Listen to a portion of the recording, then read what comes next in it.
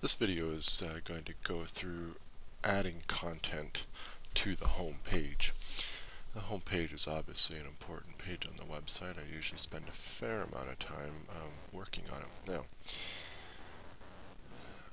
I'm going to assume you know very little or nothing about WordPress, so the StudioPress or Genesis theme home pages are use exclusively what we call widgets and they're nicely mapped out on the default here. Now clearly we don't want this text so we've got a number of what we call widget zones or widget areas. In fact we have six there plus a top left for seven and it doesn't say so here but this whole white space is also a widget zone which we're, we're in, in, in another video I will show you how to put in the slideshow.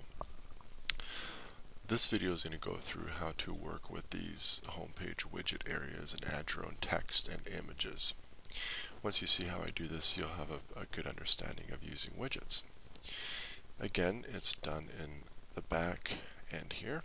So it's under Appearance.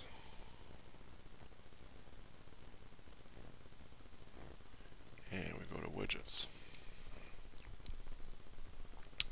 Here's our widget panel. Your widget zones, where you're going to actually put content, is all listed on the right side here. Okay. On the left side, these are the different types of widgets by default you can put in. Now you can get different uh, widget functionality. I'm not going to go into it in this video through uh, through plugins, but we're not going to do that. We'll just work with the default, and there's quite a bit here to work with. So the primary sidebar is not the home page. That is the sidebar for every page but the home page if you have a sidebar in your layout. And it's the same thing with the secondary sidebar. That's if you use a three-column layout.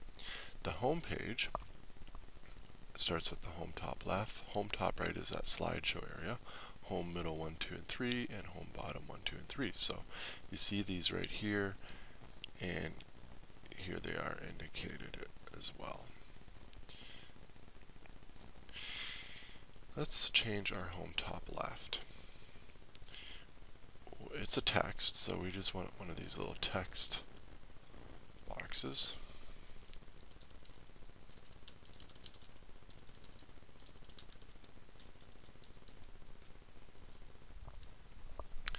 So I, you always get, you have to muck around and make sure you don't put too much text or make sure you put enough text to fill the box. I like to add automatically, uh, add paragraphs and then click save. Let's check it out. Here we are, top left, it's uh, changed the text. You can see that automatically included a paragraph.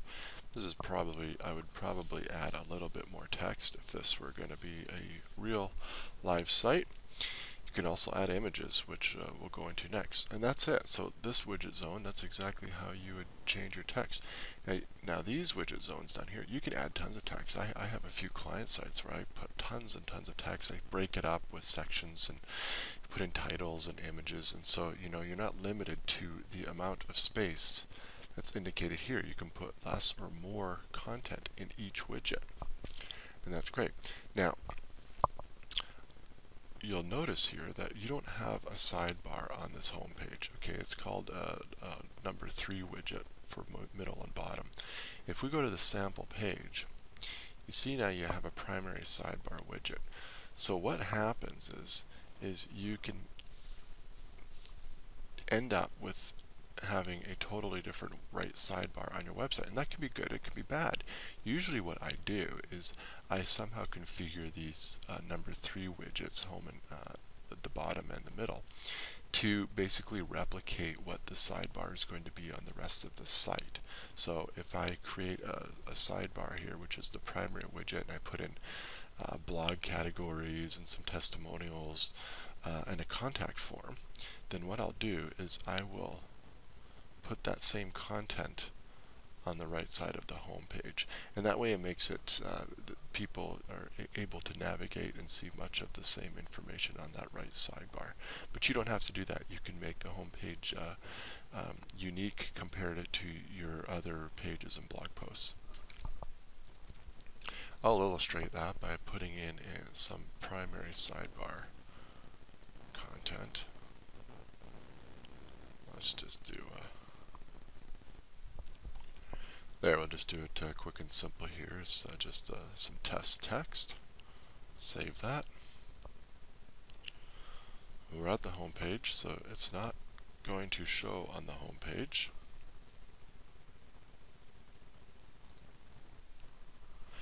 And now we're on the sample page and you see the uh, test text sidebar that, that shows. I just want to make a comment about sometimes there's a really long delay between uh, making a change in a widget zone and adding content there and for it displaying on your website. It can be pretty frustrating. Uh, I paused the video here. This this took about three or four minutes for this uh, change to take place. I, sometimes you have to refresh or even log out of your website and log back in to see the change. So if you make a change it doesn't show, that's just because there's this delay or you need to refresh. So don't worry uh, thinking that your your theme is broken or your WordPress isn't working. The last part of this uh, homepage video is I want to show you how to uh, add images into a widget zone. Now there's a lot you can do with widgets and, and through the course of the other videos I'll be using widgets uh, more and more with other functions and features, but for now we'll keep it simple so you can get some basic content on your home page. But if you want to add an image to a widget zone, there's probably a number of ways. I've created my own uh, ways to do this. What I do is I like working in a um, in the visual editor and what I do is I just create a draft. I don't publish this, I just call it whatever image it's going to be in, in the home page. And what I do is, is I upload an image into here and then I will convert it to HTML and then I just take that HTML and uh, copy it over into the widget. So I'll, uh, I'll get an image and to upload an image into the editor here is this button I've uh, selected, I clicked select and I found an image I'm going to put in there and this is what you get. You can add a title and alternate text and I generally do.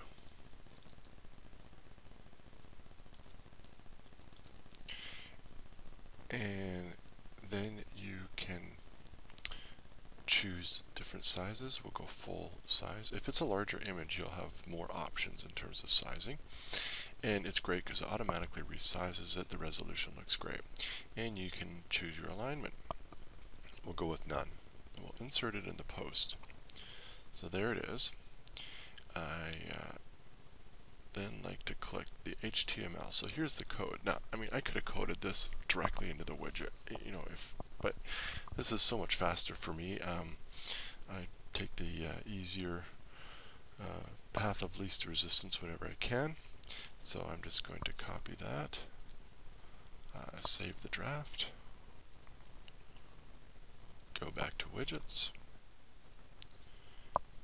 we'll place it in the home middle one. Now, in order to add an image, you need one. I know it says it's a text box, but essentially what this is, is one of the, it's a free for all. You can put uh, images in here as well, and you can embed videos if you like. I've done that for a lot of websites. It's no problem. And there we are. Uh, usually I'll uh, center align it so it's centered within the widget zone. And done. Here we are. So now I have an image in the widget zone. You can add text under there if you like, that's not a problem. We'll just go back to the same widget zone.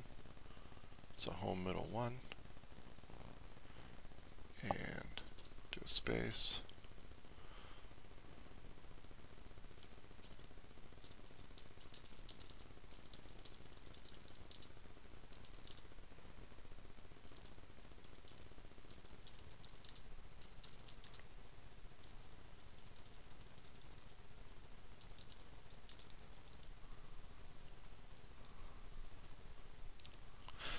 There, I added uh, two paragraphs of text under the imaged text. Here's our new text. And we'll check out the home page. And here we are. There's the new content. So you could do this and you can design your whole home page filling in all of these widget areas. Uh, again, I usually reserve the, the right side uh, zones here to replicate what my sidebar will be. Common features I put in there for my business websites are I put a contact form at the top, front and center. I want the contact form on every page. And I'll, I have another video about contact forms. I add testimonials if I have them, uh, and I um, and I do have them for my business websites and for I, more more importantly for my client sites. I get them to get testimonials, and I add. Um, images sometimes, uh, phone numbers, locations, just real pertinent contact information so every visitor can right away see uh, our contact information, whether it's a form, a phone number, our locations, and that sort of thing. And so uh, it's, it's really easy for them to get in touch with you. That wraps it up for tweaking a home page. Uh, it gives you enough of the basics to, to dive in here and create a good looking home page for your business website. For more WordPress video tutorials, including full video courses on how to build uh, many types of websites, go to b2web.com dot com.